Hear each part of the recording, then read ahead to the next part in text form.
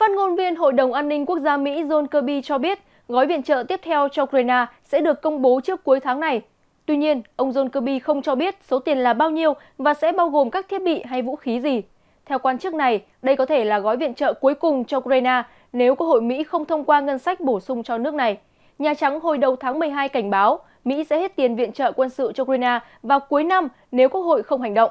Trước đó, Nhà Trắng đã đề nghị bổ sung khoảng 100 tỷ đô la Mỹ cho các vấn đề an ninh biên giới, các đồng minh của Mỹ ở Ấn Độ Dương, Thái Bình Dương, viện trợ cho Israel và Ukraine. 60 tỷ đô la Mỹ trong khoản ngân sách này được đề nghị viện trợ cho Ukraine với một nửa số tiền là thiết bị quân sự được lấy từ kho dự trữ của Bộ Quốc phòng Mỹ.